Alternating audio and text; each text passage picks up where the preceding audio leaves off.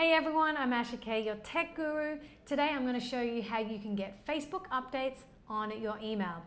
Now, if you've joined Facebook and you want to be notified when someone, for example, tags you in a photo, comments on your wall, or even sends you a private message, you can enable email notifications, which means that you'll get an email telling you what someone has done on your profile.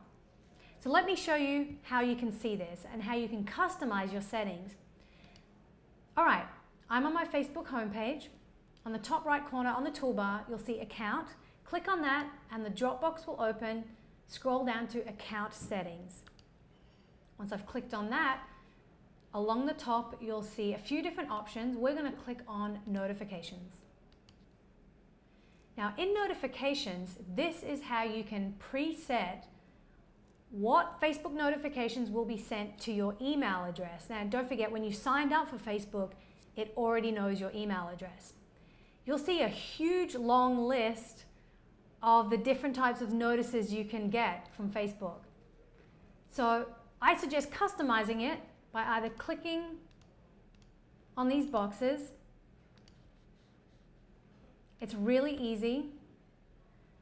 And you may not want to get notifications for everything because there's quite a lot of different things on Facebook.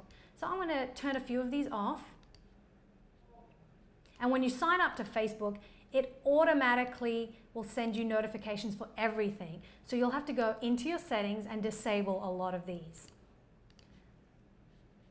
There we go. I think that's good enough for me. So once you've done that, you click Save Changes and you'll see a confirmation your, your changes have been saved. And now Facebook will automatically email you about certain notifications, the ones that you want to receive from Facebook. And that's how you get Facebook updates to your email.